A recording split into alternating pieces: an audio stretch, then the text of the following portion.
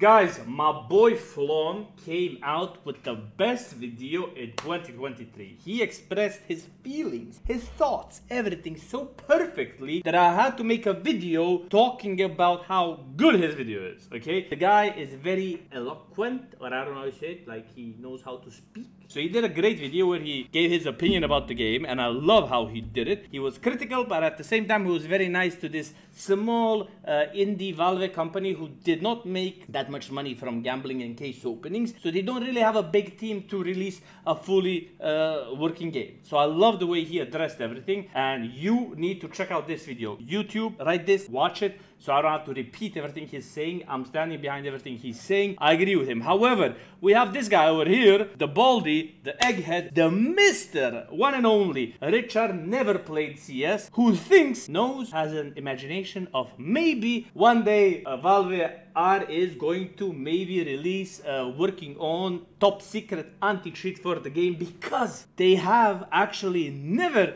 created an anti-cheat since forever, since CS is released 1.3, 1.5, 1.6. Every version I played, there was never a working anti-cheat. There were always cheaters. But my boy here trusts, believes, knows that they will release an anti-cheat one day even though the full release has happened. We have not got even 50% of all the content that was available in CSGO but they removed CSGO. We don't even have KZ. Finally Launders is crying, oh, I call him Lauren, but Launders is crying all the time on Twitter how KZ uh, can't uh, be played because of uh, the bad movement. Uh, shooting is awful. Yo, I don't play that much CS2 but you know CS2 is noob friendly and a bad, bad game when I don't even play CS2, but I go and I join FPL for the first time ever, one game, and Xantares, who is an insane player, who is so skilled, has less kills than me. I'm out here like caring. We lost, of course. I'm out here playing a game I never play, and I'm top fragging. Even here, I'm like with Glaive 20 bomb. I'm not playing the game, bro. I play more CSGO all the time. So the game is basically made for people who don't have time to play it. There is no like skill gap, skill ceiling. It's just like a run and gun. Run, shoot,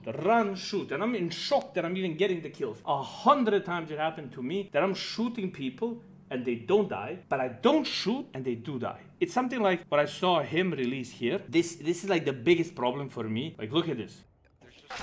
What the f how do you explain this? And how do you release a game that has all these issues still to this day and it's not fixed? And listen, look at this. What? what?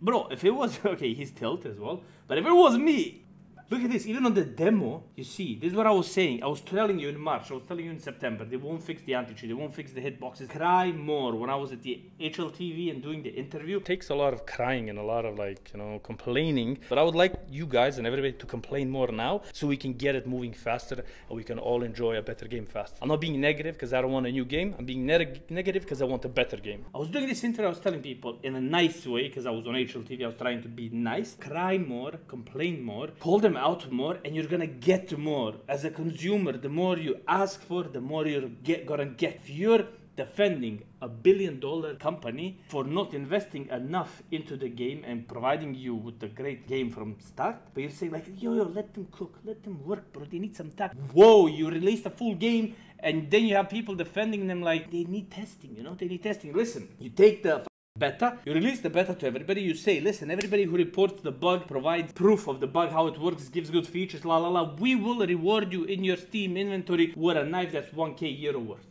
you just give them a skin, bro, a pixel skin. So many people are gonna be hyped to work, get the bugs, uh, troubleshoot, and provide you with that even during the beta from March to September. If you gave it to everybody and announced that you're gonna give prizes like the skin prize, like good skins, like so many people would send you proof and everything if you just wanted to reward the community. But no, that's impossible. Nobody did that ever. Nobody doing that. But when they go and they say they're gonna make an IE anti-cheat, then everybody's like, oh, nobody else did that. That's good. But it's not good to reward community and give somebody rewards and money out of all the cases and gambling and everything you made. Money give somebody some unique skins that you create simply for like people who contributed into testing of cs2 and provided bugs that's impossible to do. That makes no sense. The game is doing so good that we're close to minus 30 There's, i don't know a game like dota 2 dota 2 reborn. Whenever it came out i checked the numbers. The numbers go up to green. And then after some time they drop. Here you release the game and insta drop. The numbers are now, in the last 30 days, worse than in February and January when it wasn't even mentioned that CS2 is coming out. Nobody knew about CS2. There weren't any leaks. There was nothing. Nothing was known. There's no articles. There's nothing. In March was the first time uh, that Gabe Dog posted somewhere on Twitter how, uh, like, the guy's whole YouTube channel is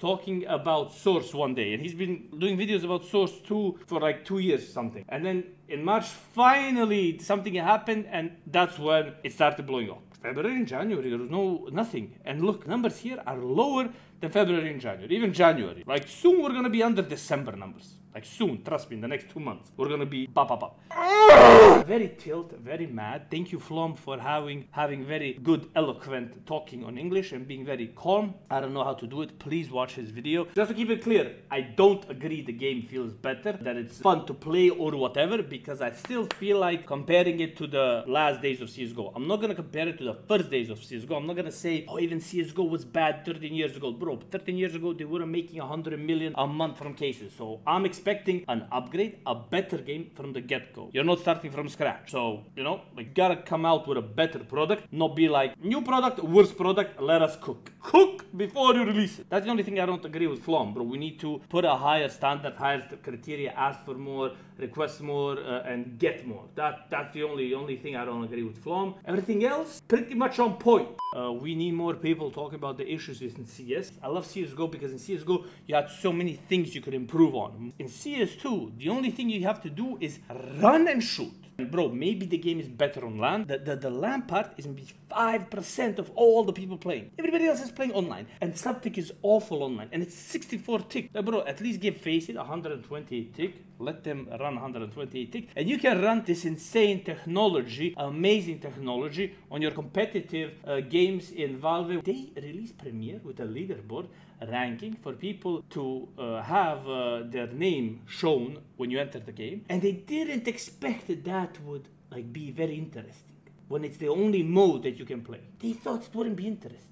And that's the only thing you can play in the game. And now people who cheated for fun have an actual reason to cheat to get on top of the leaderboard. So they did all of that and uh, they can keep 64 tick, sub tick, whatever it is. Give 128 tick to FACEIT and let's see where we're at. Because even now, most people play FACEIT, then they play Premier because uh, Premier is full, full, full, full of cheaters. Like, share, subscribe, leave a comment here as well if you don't agree with me or if you agree with me. Hopefully, you know, like uh, this, uh, his whole career is talking about other people's doings. But he can't get out of Gold Nova together with his friend Rat. So, leave a comment if you don't agree, agree, whatever. Just please spam Valve to fix the game. That's what I need. Anyway, four knife winners, four giveaways link in the pinned comment. And if you still want to play CSGO, you can do it out here. CSGO, CSGO and Luco Clan. You can play it. We have a lot of people playing. Leaderboard as well. Top 25 playing 10k dollars. And we're going to continue doing this. And we're going to activate the CS2 clan as well because a lot of people want to play with me and Doc. So, see you in the next one.